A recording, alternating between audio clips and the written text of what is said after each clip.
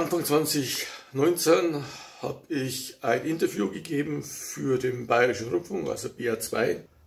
Und seitdem hat sich halt viel geändert. Also wenn ich das jetzt äh, rückblickend mal betrachte, dann äh, komme ich da schon zu anderen Ergebnissen. Wenn ihr euch dafür interessiert, was ich damals gesagt habe, wie es heute bei mir ausschaut, dann bleibt mal dran.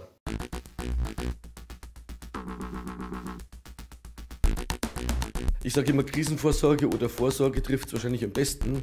Das Wort Prepper, das, da bin ich erst draufgestoßen vor vielleicht sieben, acht Jahren, als es so aus der USA rübergeschwappt ist nach Deutschland.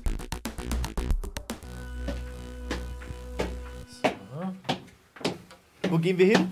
Keller. Okay. Wir lagern hier unser Obst in Kisten, das wir geerntet haben. Hier steht unser selbst eingemachtes. Oh, was, was haben wir denn alles? Sauerkraut, das ich selbst herstelle, Obst. Alle Reste, die wir haben, an Fleischresten etc., werden eingekocht, bevor man sie wegschmeißt. Äh, es sind unfassbar viele Marmeladengläser da. Äh, Ja. Überschlagen Sie mal. Ja, so ungefähr 60 Gläser. Hier sind ungefähr nochmal, ich sag mal so 400 bis 600 Einmachgläser. Fisch, Konserven, Tomatenfisch, alles was ja günstig zu kaufen ist, kostet meistens die Dose 39 Cent. Was natürlich in einem Haushalt wie in unserem nicht fehlen darf, ist viel Kaffee auf Ersatz, weil wir trinken sehr viel Kaffee. Wir haben ja dann auch hier zum Beispiel unsere ganzen Backwaren und Gewürze drin.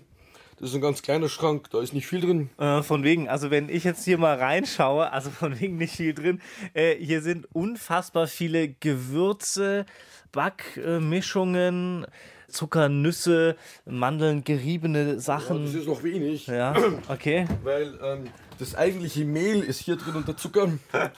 Also es ist insgesamt nicht nur in diesem Schrank, sondern so ungefähr 30 Kilo Zucker.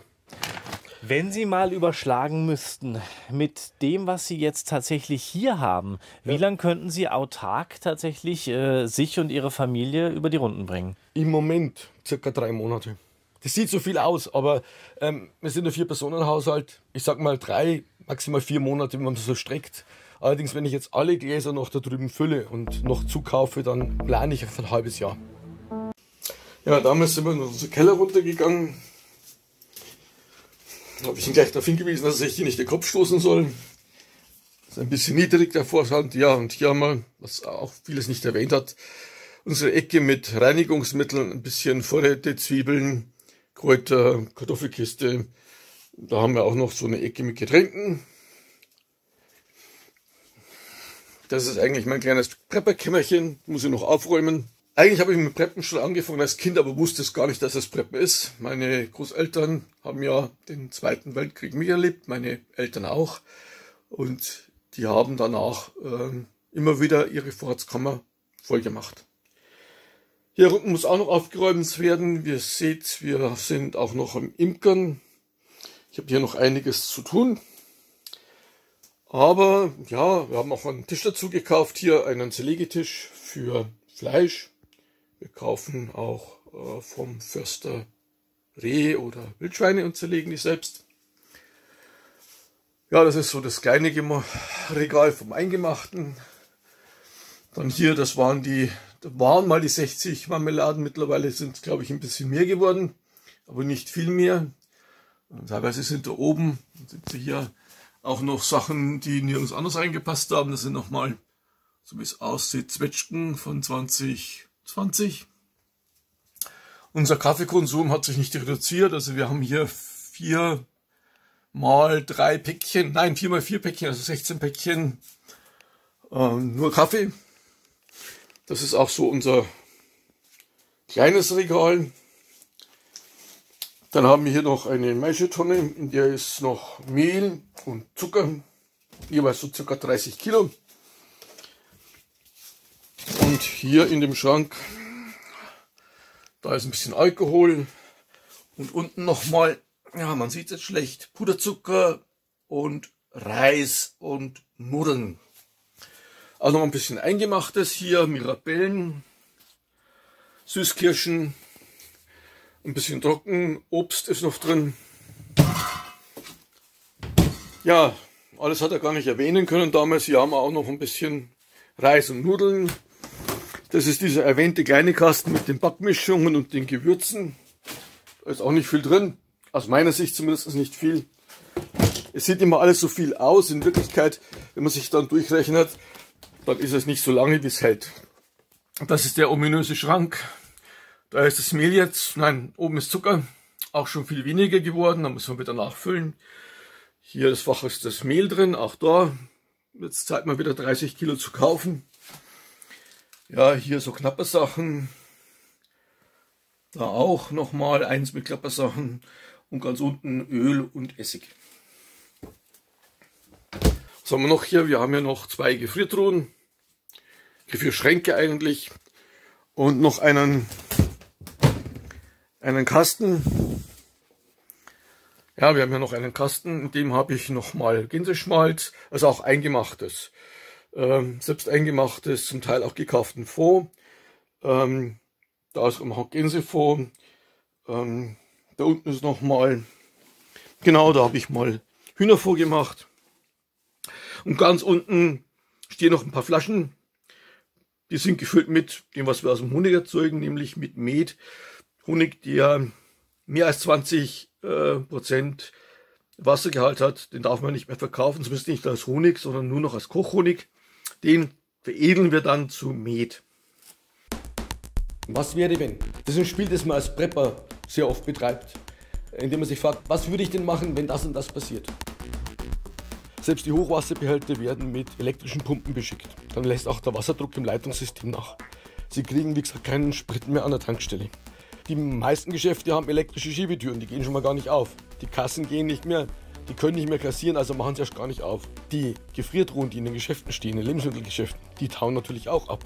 Ein Szenario für mich ist immer, dass man evakuiert wird oder sich selbst evakuiert. Also wir haben dann unsere, wir mal, Fluchtrucksäcke, da ist das Wichtigste drin, inklusive der wichtigsten Dokumente, die habe ich eingescannt auf USB-Stick oder in meiner Festplatte um dabei, weil ich dann keine große Zeit mehr habe, eine halbe Stunde zu packen. Ja, wir haben auch noch hier für 60 Liter Wasserkanister. Das sind ganz normale Faltkanister. Dreimal? Ja, das ist wenig. Ähm, wenn man rechnet, dass pro Person zwei Liter am Tag benötigt werden, reichen die 60 Liter eigentlich nicht lange aus. Ich habe einen sogenannten Katadynfilter und kann aus jeder Wasserquelle mehr oder weniger Trinkwasser gewinnen. Das heißt, wenn ich kein Wasser mehr habe, dann gehe ich da drüben in den nahegelegenen Teich und bediene mich da. Im USB-Stick handelt es sich um einen staub- und leicht wassergeschützten USB-Stick. 16 GB reichen für die Dokumente aus. Ihr solltet allerdings nicht vergessen, auch eure Versicherungspolisen also die letzte Benachrichtigung der Versicherungspolisen mit einzuscannen und mit drauf zu schmeißen. Neben, wenn ihr Haus habt, Eigentumsurkunden, äh, eure letzten Zeugnisse, Geburtsurkunden etc. Hier seht ihr so einen kleinen Teil meiner Akkus. Die habe ich jetzt getrennt in zwei Packen, einen für unsere Fluchtrucksäcke und einen für zu Hause mit Ladegerät.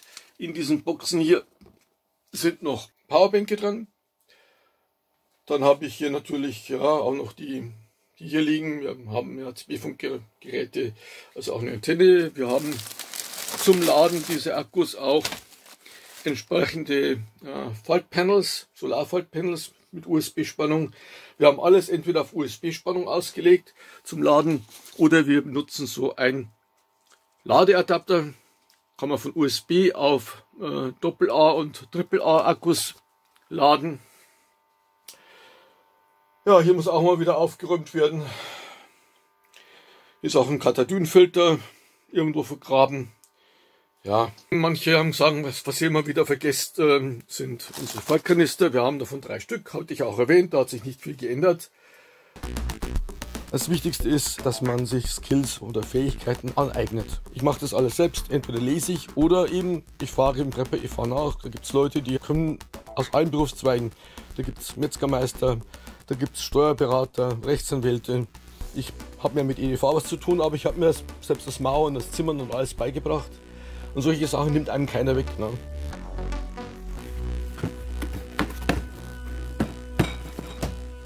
Vorräte sind ganz nett, wenn man die hat. Allerdings, wenn man da nicht mehr kochen kann, weil kein Strom mehr da ist, hat man ein Problem. Da gibt es jetzt natürlich mehrere Lösungen.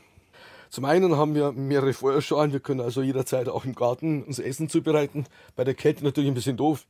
Deshalb haben wir hier auch äh, mehrere Gaskocher, entsprechend viele Gaskartuschen. Damit komme ich bestimmt ein Vierteljahr aus. Im Winter lege ich meine ganzen Ausrüstung auseinander, mehr oder weniger. Ich baue sie auseinander, sortiere sie, schaue, ob alles noch funktionstüchtig ist. Gehe dann mein, meistens meine Akkus durch. Teil der Gasbrenner Einen anderen Teil Gasbrenner und Kartuschen sind hier unten. Da müssen wir auch wieder Kartuschen nachkaufen. Ein bisschen Wasservorrat, ein bisschen so für die, die ersten Tage. Das ist auf jeden Fall eine Anschaffung wert. Eine Dokumentenkassette, die einigermaßen brandsicher ist. Ich kann jedem nur raten, sich sowas irgendwo hinzustellen und wenn man mit dem Auto fliegen kann, dann auch mitzunehmen. Die Situation zur Wasserversorgung hat sich ein bisschen geändert. Ich habe hier zum Gießen und auch als Brauchwasser, nur was auch als Trinkwasser, einen 1000 Liter IBC aufgestellt. Die grüne Tonne fasst nochmal 220 Liter. Und ich nehme das Regenwasser her vom Dach. Das ist zwar nicht optimal, weil das halt schon stark verunreinigt runterkommen kann, aber im Notfall hat man was. Ja, das ist unser Garten. Dieses Jahr werde ich wieder einiges mehr anbauen in unseren Hochbeeten, dass ich hier einiges angepflanzt habe. Es ist aber noch vor den Eisheiligen, also kommt noch viel dazu. Das muss jeder für sich selbst beurteilen. Ich beurteile es momentan so, dass man noch keine Akutsituation hat. Also ich mache mir da auch keinen Stress. Neben den Fertigkeiten, die ich mir immer wieder mal aneigne, haben wir eine Bücherdatenbank angelegt zum Thema Prepper. Da sind noch zwei andere Themen drauf, sind aber nicht so interessant. Da ist also alles dabei, was dazugehören könnte. Von Medizin, von Landwirtschaft, von Reparaturen an Maschinen. Ähm, das ist eine riesenlange Liste. Ich glaube, ich habe mittlerweile nur für Prepper ungefähr dreieinhalbtausend Bücher gesammelt. Damals habe ich gesagt, ich mache mir da keinen Stress. Wir bereiten uns halt vor. Ich sage mal so, äh, der Stress war es nicht. Wir haben dann bis Ende 2019, habe ich es dann auch geschafft, nicht nur ein Halbjahresvorrat anzulegen. Nicht nur das, was wir im Keller haben, ist unser Vorratsdepot. Wir haben auch noch Vorräte ausgelagert. Ungefähr genauso viel, wie jetzt hier ist. Wir kommen jetzt mit sechs Personen ungefähr ein halbes Jahr bis dreiviertel Jahr zurande. Ja, es hat sich äh, aber viel geändert. Anfang 2020, ihr wisst, worum es geht. Darauf konnte man sich auch nicht vorbereiten, daran habe ich auch nicht gedacht. Eine Pandemie oder eine Plandemie, wie ihr das sehen wollt. Auf jeden Fall gibt es neue Herausforderungen. Und deshalb solltet ihr jetzt, jetzt anfangen mit Krisenvorsorge, mit Vorsorge, mit Preppen, äh, bevor es ganz zu spät ist. Die Pandemie ist eine Geschichte, die ja, wird sich entwickeln, da hat man wenig Einfluss drauf. Die andere Sache ist, dass äh, sowohl die EZB als auch andere Länder, USA, Geld drucken wie die Weltmeister. Und jeder, der mal in einem Krieg war, meine Mutter war das mal, die ist leider schon verstorben, ähm, die weiß, wie sich eine Inflation oder Hyperinflation äh, auswirkt. Ja, das sind ganz, ganz schlimme Zeiten. Und bevor die Sachen teurer werden, Schaut jetzt, dass ihr euch noch das Wichtigste besorgt. Dazu wird es einen extra Teil geben. Vielleicht werden es auch noch mehrere Teile werden, weil ich das Ganze ein bisschen aufbereiten möchte. Und euch auch sagen möchte, ob, dass ihr planvoll oder mit Plan vorgehen solltet. Es macht keinen Sinn, euch jetzt ein Funkgerät zu kaufen, aber dann nichts zu essen zu haben. Da werde ich auch eine Liste veröffentlichen, mit reinstellen, natürlich immer wie immer kostenfrei hier, in der die Schritte ein bisschen skizziert sind gibt einen guten Kanal. Ich werde den mal unten mit in die Kommentare, also in die Videobeschreibung packen. Der hat das ja nett formuliert alles. Ähm, zehn wichtige Dinge jetzt mit Preppen, mit Vorsorge anzufangen. Ähm, ich sage es nicht ganz so nett. Ich sage, wenn ihr jetzt nichts tut, dann ähm, habt ihr verspielt. Denn laut Katastrophenschutz kann man nur 5% der Bevölkerung versorgen im Krisenfall. Die restlichen 95 Prozent, zu denen wahrscheinlich auch ihr gehört, werden leider ins Gras beißen. Ich sage das ganz hart. Äh, ihr solltet euch zumindestens und das ist auch die Empfehlung des Katastrophenschutzes, äh, einen Vorrat für drei Wochen zulegen. Wie schnell kann mal drei Wochen die Versorgung ausfallen? Aus welchen Gründen auch immer. Strom ausfallen. Aber da komme ich noch drauf. Im nächsten Video. Also, bis dann.